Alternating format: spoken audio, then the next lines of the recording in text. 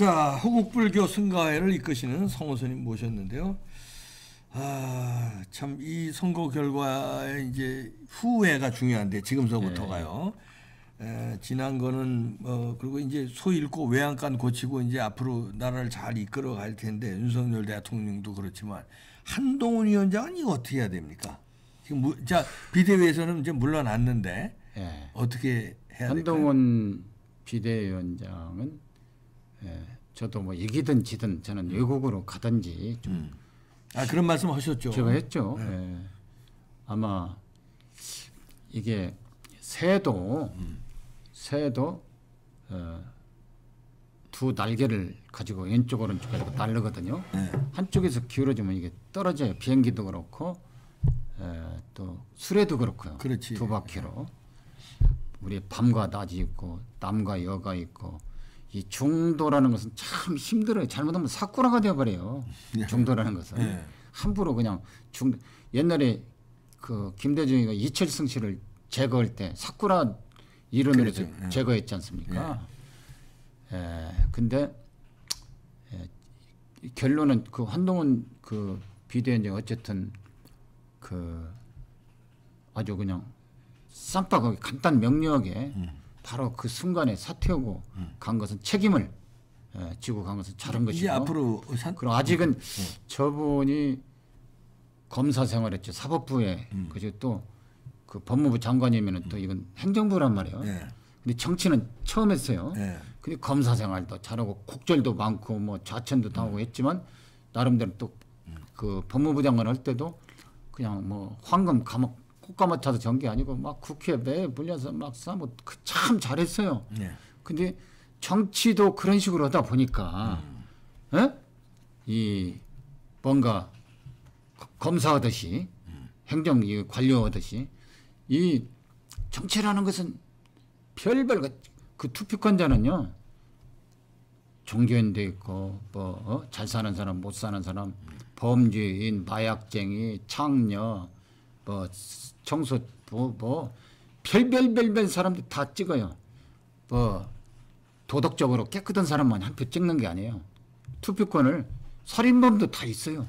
누구든지. 그리고 국회 의원이 되겠다는 사람 자체가 범죄자들이 그러니까 많으니까. 뭐. 그래도 그러다 보니까. 범죄자들이 됐어요 또. 예, 또 그랬는데 한동훈 장관께서도 이제 이번에 100, 또 108일 만에 사퇴하고 갔더라고요. 아, 기간이 비대위원장은 또. 당선도 108번에 그 예. 108석이 얻었고 예, 예. 아 사표도 108일 만에 사표였어요? 예, 예. 야, 그것도 의미가 또 그러네 또 108번이네. 제가 볼 때는 네. 어떻게 해야 됩니까? 한동 한동훈 비대위원장 유학 가야 되죠? 유학도 가고 아마 정치 쪽으로는 아마 뭘라고 오겠어요. 아 근데 하겠다는데. 아이고 저는 그렇게 안 봐요. 저 양반이 뭐가 부족한 게 있습니까? 아 정치 안 한다고요? 예, 그렇게 봐요. 오, 저는. 아 그렇게 보시는구나. 예, 예. 그 윤석열 대통령 밑에서 참모로서 그 그걸 그냥 잘 했어야 되는데 그 어떤 야망이 크다 보니까 두 번의 큰 그 부딪힘이 있었잖아요. 예. 윤석열 대통령하고 한동훈 검사라는 것은 상명하족이 검사 통일처원칙 그런 것이 있어 비슷한 게 그건 이제 그 법 검사 검찰청법에서 뺐는데 이 군대나 이런 데 유계 질서가 심합니다. 거기는 상명 하복식이에요. 그렇죠. 적당히 막 회유하고 막 바람거리 이런 스타일이 아닙니다. 네. 예. 그거면 이게 다가 이제 그 정치로 이제 와가지고 뭐 누가 조언을 했는가나 모르 한동훈 비대위원장 주변에 사람이 없더라고요. 여기 다 존재감이 없어요. 국회의원 장영동인지 무슨 뭐 장교. 기, 김영 장뭐 이런 것들 좌파에 있다가 떨어지고 그, 그 보, 보령 이런 것들을 사무총장 갖다 놓고 비서실장을 뭐 김영동이 안동 이런 초선 초짜들 갖다 놓다 보니까 연륜이 그리고 유승민계 유이동이 그러니까 이런 것들 갖다 놓다 보니까. 예? 네, 김경률이고 뭐 그래서- 주변이 다 이러니까 예, 봄이 지금 계절적으로 지금 봄이 그 왔지 않습니까? 예. 봄이라는 것은 또 꽃이 있어야 돼 꽃. 음. 민주주의라는 꽃을 피워야 되는데 이게 보수파는 그렇지 않아도 박근혜 대통령 탄핵 당해서 참 음. 풍찬 넣어서 비가 오나 눈이 오나 바람이 부나 광화문에 그냥 막 스스로 자발적으로 태극기 흔들고 막 이렇게 해서 해가지고 막 안쓰러워하고 막 그렇게 했는데 국민의힘에서는 이 배신자가 막 62명이 막 탄핵에 합- 협조하고 막 이게 박근혜 대통령 그 당시 숫자가 국회의원 숫자가 적다가 탄핵당한 거 아니에요. 맞아요. 배신자들 때문에 했는데 아직도 그것이 안녹 그대로 어, 유전인자가 남아 있다 보니까 태극기를 위해 선 사람들은 그냥 서자 취급하면서 오히려 민주당보다도 더 그냥 상대로 인정을 안 해버리더라고 네. 지금도 예? 그 더 안, 우리는 더 이제 태국 전사들은 더 안타까웠고 어 이게 그래서 이제는 그 각계 각층에서도 이걸 그 윤석열 대통령께서는 그, 어? 그 국민들을 또 민주당에도 이 봄이 왔으면 따뜻한 온기가 오잖아. 온기가 있는 식으로 이것을 해나가는 사람이 이기지. 막 투쟁적으로 하면 또 민심이 또 그쪽으로 안 간다고 봐요. 선동이나 이런 것보다 네. 예? 이, 그 추운 겨울이지만 왔지 않아요. 네. 저 범죄인들 그 서구 선진국에서 이재명이나 조국이 같은 사람들 저렇게 당 대표나 국회의원 만- 꿈에도 상상 못합니다. 그러니까 이제 한동훈은 물러났으면 이제 네. 자뭐 유학하고 정치 안 한다 이렇게 저는. 분석하셨는데 네. 뭐 그건 이제 두고 볼 일이고 자 그럼 이제 누가 이 국힘당을 끌어가야 될까요? 예. 참 포스트 한동훈 시대 누가 끌어가야 될까요? 마땅히 딱 이렇게 참 흡족한 사람은 없는데 그래도 그 중에서라도 예, 정치하고 행정부를 이제 뭐 그 기존에 뭐 이름들 오르내는 분들도 있는데. 뭐 안철수, 나경원 뭐 이렇게 올- 권영세 이렇게 오르내리고 있습니다만. 예, 뭐 저는 뭐 그런 사람들은 그 양이 안 차고. 아 양이 안 차고 누가 했으면 좋겠어요. 저 생각하는 분은 따로 있는데 네. 좀 기다려 보면 이제 나올 것이고. 아 기다리면 또 누가 나오는구나. 예. 당은 당대로 이제 대통령하고 대립각을 세우지 않는 허심탄회하게 이 대통령과 당 대표가 이 대화를 해가면서 절대 그 당 대표하고 대통령하고 엇각지고 서로 해서 아, 그러면 안 꼴이 돼. 없어 직구성 망하듯이 그럼요. 부부간에도 이게 화합을 하고 조금씩 양보하면서 가야 가정이 화목해지고 그러니까. 직장도 그러고 그러지 우리나라 이놈 것이 아 이번에 왜 윤 대통령하고 갈등을 벌이냐고. 그러니까요. 답답해 죽겠어요. 아니 광화문 세력은 무조건 윤 대통령만 하는데 거기를 무슨 원수 취급하고 무슨 사람 취급을 않고 아니 보수파를 사람 취급을 않고 오히려 저 무슨 저 좌파들 좌파들 끌어다가 어징이 떠징이 되네. 함은경이다 김 김경률이다 김경률이라든가 막 그런 5.18또뭐저 네? 헌법 전문에 넣겠다고 그러고 뭐 이렇게 하니까 이제는 음. 참이 우리의 지금 이 정치 혼란도 음. 그 우리의 주적인 북규가 해방되고 나서도 공산 그 공산당 네. 공산주의자들이 78%였어요. 이승만 대통령이 올 때는 15%밖에 안 됐다는 거예요. 네. 예? 자유민주주의 시장경 서구적인 이런 인식 우리는 역대로 뭐 뭐 신라 시대 뭐 소돈이 뭐 뭐 이렇게 화백제도 이런 건 민주주의라고 했지만 확실하게 지금 현대식의 민주주의로는 경험이 없잖아요. 그렇지. 북한도 마찬가지 없어. 거기는 획일적으로 어? 그럼 북한이 100% 당선됐다고 해서 김일성이가 수령 뭐 투표는 오잖아요. 만장일치 투표에서 만장일치로 100% 선거 100%. 그게 잘 사는 체제고 좋은 잘 되느냐? 천만의 말씀. 절대 그 숫자 많다고. 그 김대중이가 잘한 것은 네.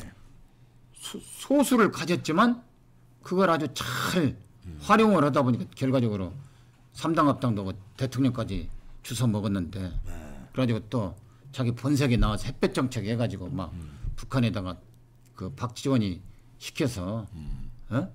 5천억인가 막 갖다 줬잖아요. 박지원 이번에 또. 또 국회의원 대대. 그러니까 아, 나 이게 이게 이게 뭐- 전시 저, 이- 이게 정치의 살아있는 생물이라고 현실이라고 하잖아요. 현실.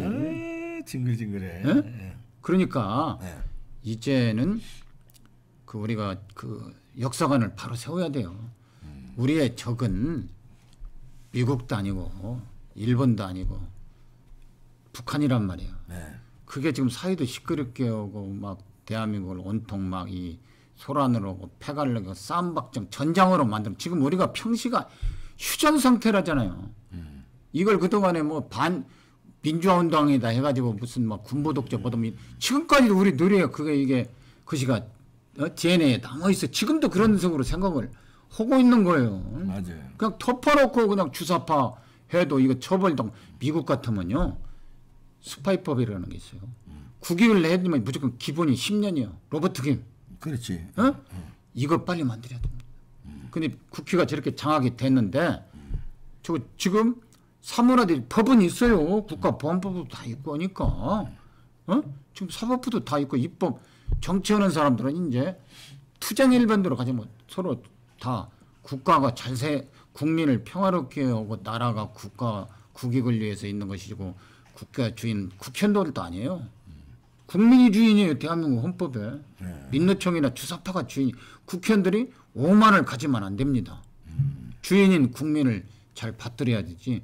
만약에 숫자 많다고 뭐 탄핵이니 개헌이니 엉뚱한 짓 하는 국민한테 광화문 특히 그 헌법 수호 세력 우리 국익을 충실한 태극기 광화문 세력한테 몰매 맞아 죽어요 국회 같은 데 광화문과 국힘은 이제 협력해야 돼요. 아, 국힘이. 광화문을 끌어안았으면 그렇죠. 이번에도 이기지. 광화문을 내치고 그러니까 네. 이저 우파를 내치고 도태우 내치고 이러는 바람에 우파가 실망해 가지고 네. 투표장에 많이 안 간 것도 있어요. 네. 부정선거 당한 것도 있지만 네. 부정선거는 이제 부정선거대로 이제 그 뭐 잘그 증거를 찾아서 뭐 증거를 하나씩 이봉규 TV에서 방송하고 있으니까요. 음. 이제 그 사, 사법 당국에서 수사 당국에서 잘 수사해서 이번에 윤석열 대통령이 용기를 가지고 부정선거 수사해서 이런 제도니까 수사하면은 지- 나오잖아요 잘못된 게 그럼 이러니까 사전 투표는 없애야 되겠다 명분이라도 찾아야 됩니다 그러려면 수사해야 됩니다 그거 진짜 사전 선거는요 위원이에요. 없애야 돼요 이- 위헌이야 어떻게 선거면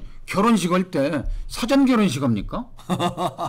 그러네 아니 아, 사전 결혼식 하냐 진짜 아니 장례식을 사전 경 장례식하고 또 그러니까. 진짜 장례식 합니까? 그러니까 예? 그리고 자유통일당을 죽이려고 예.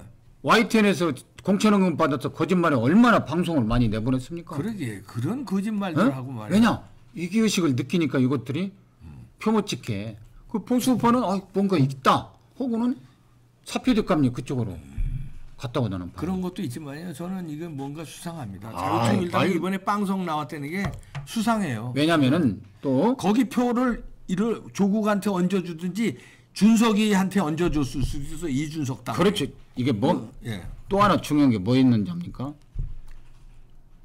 우리는 의심을 하잖아요. 조금만 있어도 뭐 이게 하면은 사람이라는 감각적으로 의심하는 게 있잖아요. 꼭 증거가 안 보이더라도 내 눈앞에 보인다고 해서 증거가 아니에요. 비디오로 찍어야 돼요.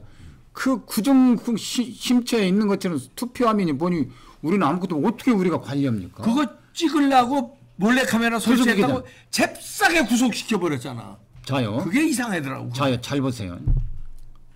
그 북기 김일성이 김정은 체제가 북한 공산당이 우리나라를 적화시키려고 얼마나 큰 그 제주 4.3 사태 그다음에 6.25 남침 울진 삼척 무장 청와대 습격 예? 그다음에 문세광이 와서 유- 유경서서 박정희 대통령 죽이려다가 유경서서 서거시죠 그러게. 그러면 거기에 추종선 그 민노총 정교조 할 것 없이 이거 공무원 노조 이런데 그 북한에서 그 최고 쉬운 것이 선거 어? 이게 뒤바꾸는 것 같이 쉬운 게 어디가 있습니까? 그러니까요. 누가 떡 먹기에 그거 하는 건 원격지. 그거 그 그 안 컸어요? 돈 안 들지. 어?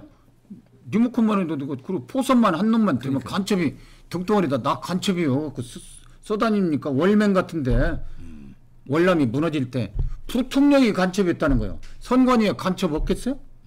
어? 그걸 믿어요? 공정선거라고? 에이, 말도 안 돼요. 그 CCTV 그 아니. 설치한 유튜버 구속시킬 때 수상하다 했어요. 왜 저걸 빠- 잽싸게 구속시킬까? 아니나 달라 이런 결과. 대한민국을 네.